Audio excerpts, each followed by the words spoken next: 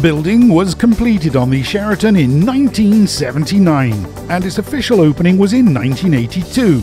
The first five star hotel in the country, this iconic building has been a part of Doha's skyline for more than 43 years. And thanks to a major renovation in 2014, it's completely up to date with the latest technology, innovations, and luxury fittings. Just look at this room. If I had to use one word to describe it, that word would be plush. And it's so quiet.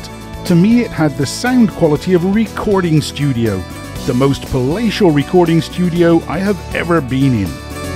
This suite is luxury on steroids.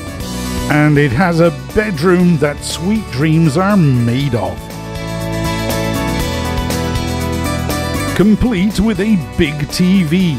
But who wants to watch TV when you have a balcony with a view like this?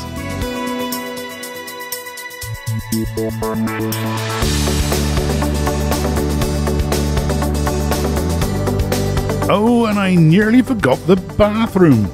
It's just as opulent as all the other rooms. Luxury personified.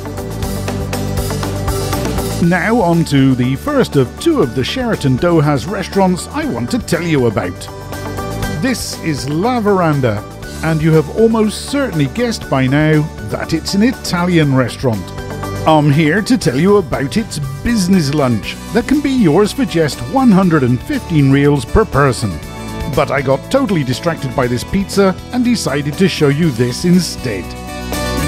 Mmm, can you smell that?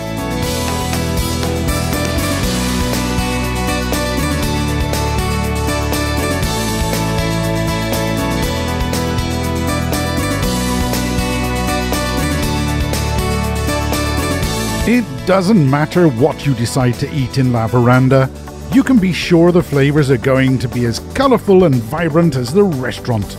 And with the weather as beautiful as it is at the moment, why not dine outside next to the sea? Cheers!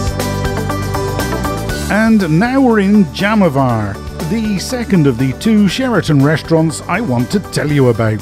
Five star Indian cuisine in a five star setting and they have a delicious business lunch to tantalize your taste buds. You can have a vegetarian thali for 135 riyals per person, or for an extra 10 riyals, you can have the non vegetarian version.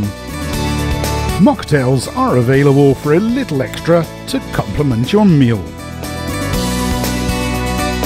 The Sheraton Grand Doha Resort and Convention Hotel a very special place for very special memories.